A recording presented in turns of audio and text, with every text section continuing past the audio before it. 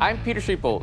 You might know me from my YouTube channel where I make all sorts of flying aviation contraptions. This is Sailor Versus, a series where other creators and I see if you have what it takes to be a sailor in the Navy.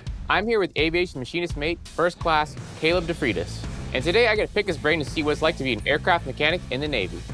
Hey Caleb, well due to the pandemic we couldn't really meet face to face, but thanks for jumping on this video call with me. Hi Peter, I'm looking forward to talking to you. Well, we got this giant box today and this giant metal ring is in it. What is this thing exactly? Well, Peter, this is a combustion module for a F404 slash 402 engine. This produces thrust that drives the HPT, which eventually drives the engine. All right, neat. Yeah, I was wondering why it looked the way it is. It looks like it does have a bunch of like little holes and like nozzles on it. So I figured it had something to do with the uh, fire part of the engine. Well, you're correct. So the combustion happens in the casing, and the hot air gases with the cool air gases from the fan comes through these segments, which is 22 segments. I guess before we like look into this thing, uh, can you tell me like what an aviation machinist mate does in the Navy? We inspect, maintain, and repair engine components and any components that drive the aircraft.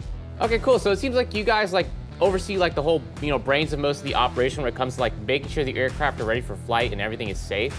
But the AD mission is to send aircraft flying and bring them back safely. That's awesome. So today, Peter, I'm gonna show you how to disassemble the combustor inner casing. So you start taking off these, these bolts around here, nice and easy.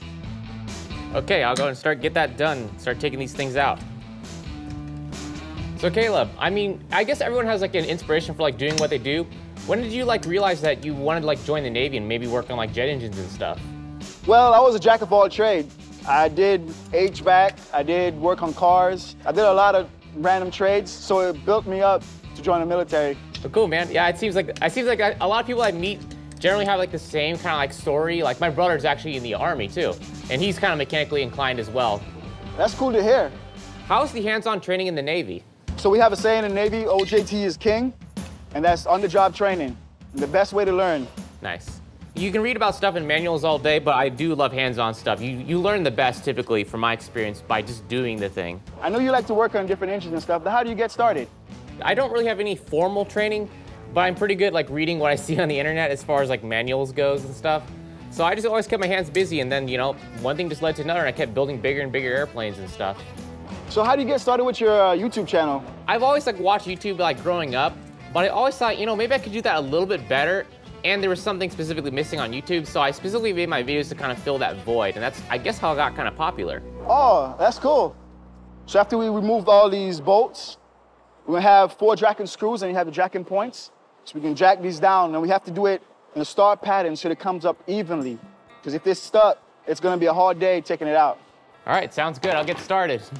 So right now I am going through my star pattern, going from, it doesn't really matter where you start from, just as long as it's crisscrossed. Just go a little bit down until it raises up and keep going around until it's out. Say, hey Peter, where you at? All right, so now I'm getting these screws and I'm going through like a star pattern over here, trying to walk this thing out very slowly. Okay, great. Of all the aircraft you worked on in the Navy, what's the favorite that you've worked on? Well, my favorite aircraft to work on is the MH-60 Seahawk.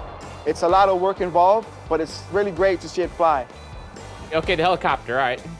Helicopters, uh, they seem pretty sketchy. There's like a giant cluster like thing of like rotating parts in that. that that's pretty cool. So right now, the jacking is already done. Just gonna take it out. Make sure you take it out as level as possible because it will get stuck.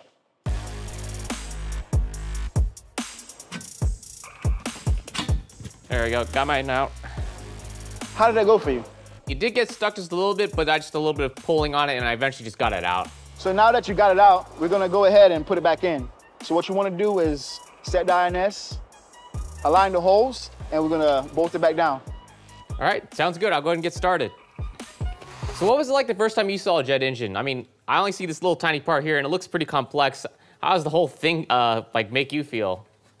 so well, first time seeing these engines, I was like, uh, what am I supposed to do again? Although you have the training, it's a lot to take in, but as you go take steps by steps, you'll get it eventually. So, you know, fixing things is pretty cool, but have you ever got to like ride in these things or, I don't know, fly them? Uh, ride, yes. Fly, not yet. I'm working on it. very cool. Yeah, I, I, imagine most people that join the Navy really do want to fly the planes. That'd be very cool to do that one day. It will be. I'm gonna get there. Well, keep working on it, man. It's awesome. So I installed all the bolts already. Now I'm starting to tighten them down with the speed handle. Some of those things that you look out for is making sure that the INS is actually seated and the holes are not off. Because if they're off, the, the bolts will be hard to go in and it'll cause a strip of the bolts. So you destroy the bolts, you destroy the INS, and it's the whole process of redoing the whole thing over again. Yeah, I imagine stripping a bolt like on something this is pretty expensive. So I try to like hand start them too before I like run them in with the uh, the driver. Uh, so Peter, how do you feel about putting this back together? I feel pretty good. I'm pretty much just snugging them back down and I'm, I'm pretty much done. I guess like my takeaway from this is like, if you really are kind of mechanically inclined, you can probably do a lot and work on some very expensive, very big aircraft in the Navy. So it's great if you're mechanically inclined, but you don't need to be. With on-the-job training, you can be the best you can be. Well, it seems like I kind of learned a lot like talking to you about like being an aviation machinist mate in the Navy. I look forward to the challenge we're gonna have later on. Yeah, I'm looking forward to it too. Want to learn more about being an aviation machinist mate in the Navy? Just click the link in the description below. And watch me go head to head where I put this combustion module back together.